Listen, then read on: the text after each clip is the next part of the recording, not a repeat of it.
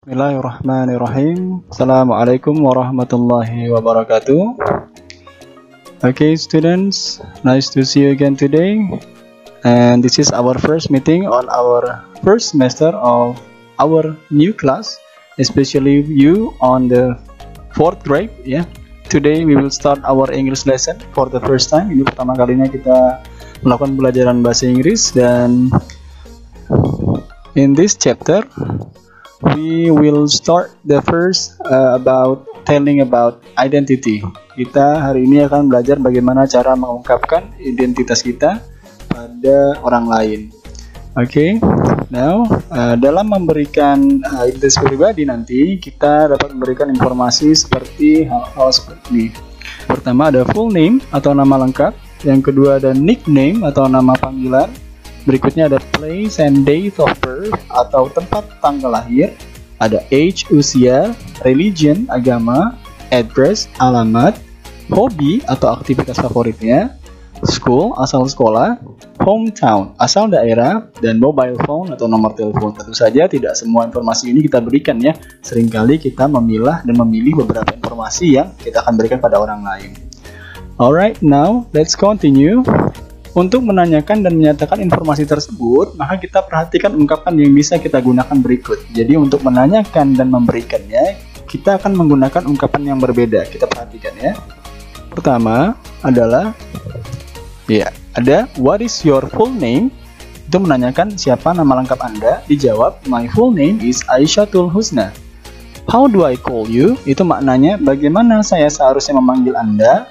Jawab dengan you can call me Husna. And then, when were you born and where? Di mana kan Anda lahir dan kapan? I was born on 3 August 2009 in Palembang. Nah, perhatikan istilahnya di mana dan kapan Anda lahir. Saya lahir tanggal 3 Agustus 2009 di Palembang. Next is how old are you? Berapa usia Anda? I am 8 years old. Saya berusia 8 tahun. And then, what is your religion? Apa agama Anda? I'm Muslim atau saya seorang Muslim. Where do you live? Di mana Anda tinggal? I live at Jalan Adi Sucipto, Gang 822 atau Gang 822. What is your hobby? I like reading Quran. Saya senang membaca Quran ketika ditanyakan tentang hobi. Where do you study? Di mana Anda belajar atau bersekolah? Dijawab dengan I study at SDIT Al Karima. Saya belajar atau bersekolah di SDIT Al Karima. Next is where are you from? Di mana Anda berasal atau dari mana Anda berasal? I'm from Bengkayang. Saya berasal dari Bengkayang. And then the last is what is your phone number? Apa no, berapa nomor telepon Anda? Jawab dengan my phone number atau my number is 089647090133. Nah, itu adalah beberapa ungkapan untuk menanyakan dan menjawab um, masalah atau informasi tentang diri pribadi. Nanti kita akan coba review kembali.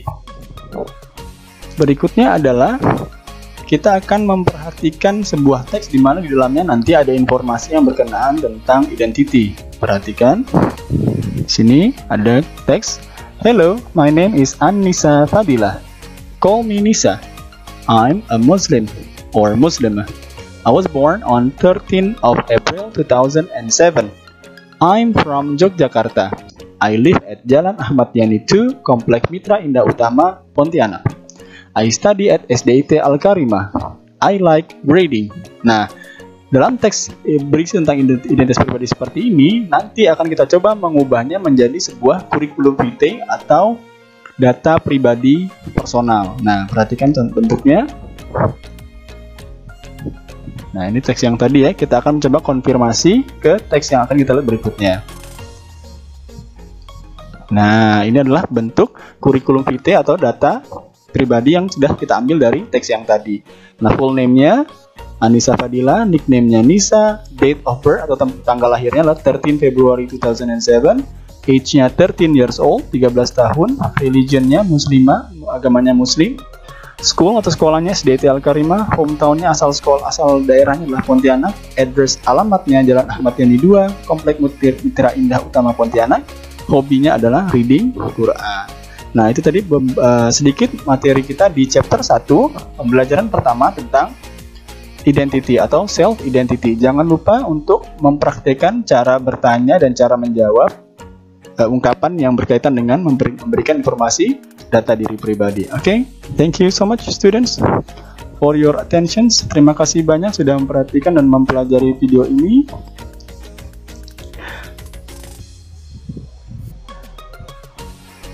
See you again on our next meeting. Sampai jumpa lagi di pembelajaran berikutnya. Let's close our class by saying hamdalah. Okay, and then see you again. Assalamualaikum warahmatullahi wabarakatuh.